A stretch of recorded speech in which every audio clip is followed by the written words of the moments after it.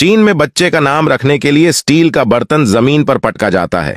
फिर उसमें से जो आवाज़ आती है जैसे टंग टांग टुंग छिंग छुन्न चा।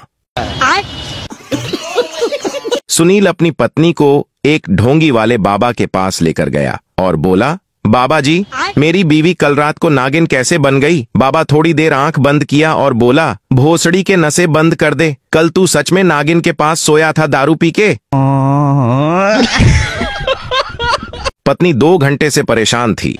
पति का औज़ार नहीं खड़ा हो रहा था। पत्नी अंत में हार मानकर जनगण मन गाने लगी। पति बोला ये क्या कर रही हो? पत्नी बोली एक आखिरी कोशिश इससे तो पूरा भारत खड़ा हो जाता है।